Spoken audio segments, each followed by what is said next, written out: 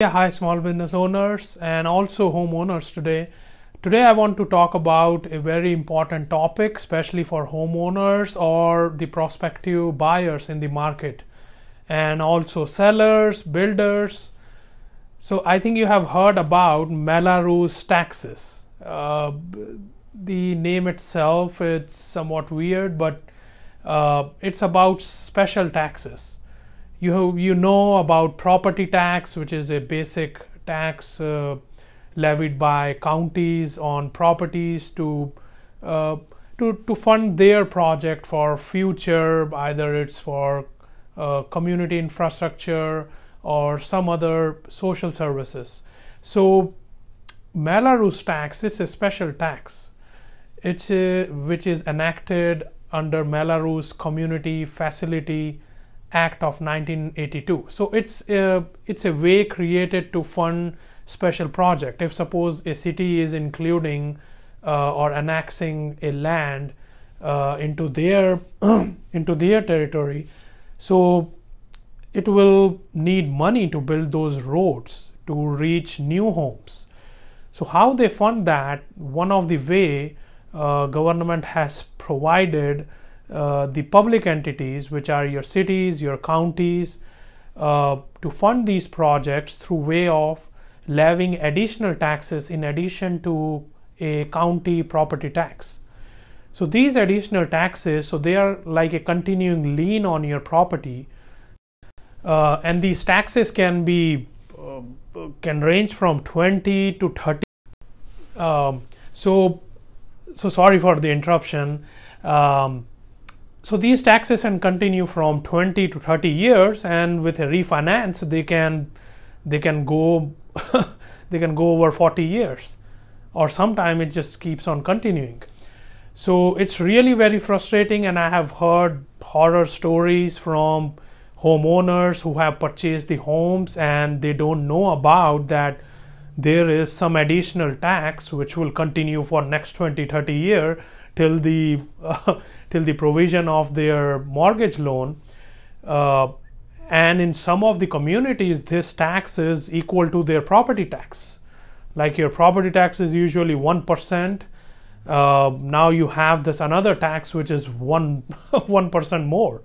So so it's basically like you're paying taxes about two percent a year. So so it's it's it's very burdensome for i think homeowners if they don't know about it. Because of such situation uh, the legislature have think about that there needs to be some disclosure requirement. So they have a disclosure requirement which provides that that every homeowner need to know either from seller or from their builder and also there is provision about that the real estate agent need to provide that information. Uh, so what's this disclosure requirement is? So if suppose you are a builder then you need to provide your new home owners that there is this special tax. You need to provide a specific notice about this special tax. And how much is that tax? What's the duration? What are the terms of that so you need to provide before you enter into the purchase agreement of this new home. If suppose you don't provide it and you enter into this purchase agreement and you suppose later thought about it, then you need to provide this notice immediately to the uh, prospective buyers and also this notice like a later notice provides the prospective buyer a 3 day of rescission so that means the prospective buyer can rescind the contract after getting this notice within next 3 days or if this notice was mailed within next 5 days. So however uh, the government code provides uh, that the sale cannot be rescinded or any conveyance happened because of the failure of this notice that cannot be rescinded so so it's basically a contract which have been provided without this notice that can be rescinded. And what about the obligation of a seller? It's not a builder, it's not a new home, it's an existing home, seller is selling it. So the same requirement goes to the seller. The seller needs to contact this uh, uh, the special taxing agency. So usually uh, they create if uh, either if it's with a county or if it's with a city. So there would be a probably a community facility district which is administering this special tax.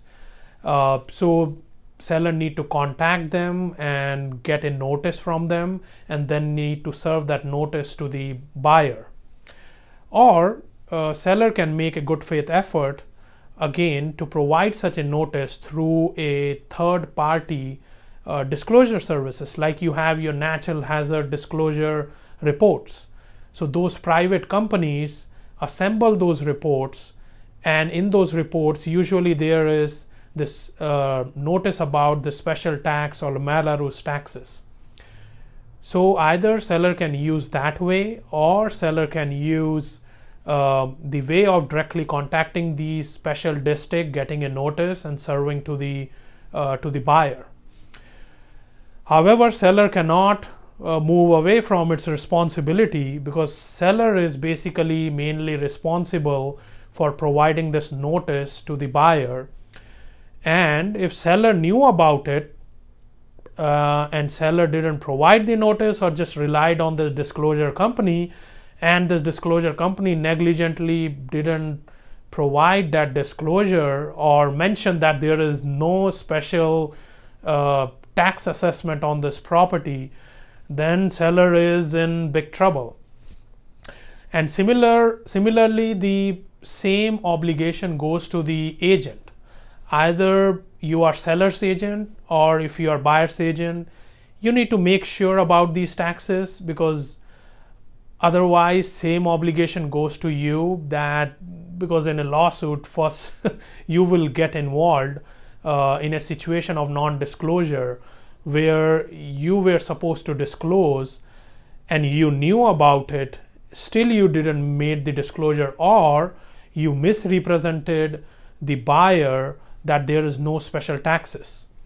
So you need to make sure you provide the disclosure because it's really very important because this is basically a lien on buyer's property, a continuing lien which will, will remain for years and years. Um, and it's a big burden on the property because property value get affected because one of the obligations of a seller's agent or buyer's agent is to disclose all the material fact about a property. So this is a material fact because it's a burden on the property and it will affect the value of the property. And how much it would affect? That's sorry again for the interruption. Uh, so if there is a non-disclosure, there are consequences for that. So one of the consequence which court provides that the party who is responsible to make this disclosure need to provide actual damages.